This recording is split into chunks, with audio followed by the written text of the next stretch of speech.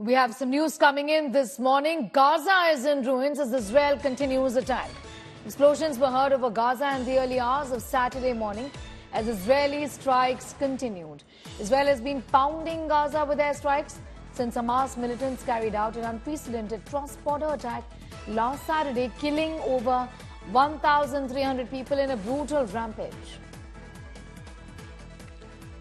Getting in these pictures from Gaza, which stands as it does in ruins as Israel continues the pounding of uh, Gaza's, uh, the Gaza Strip essentially. It's in ruins.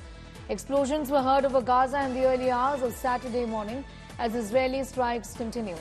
Israel has been pounding Gaza with airstrikes since Hamas militants carried out an unprecedented cross-border attack last Saturday, killing over 1,300 people in a brutal rampage.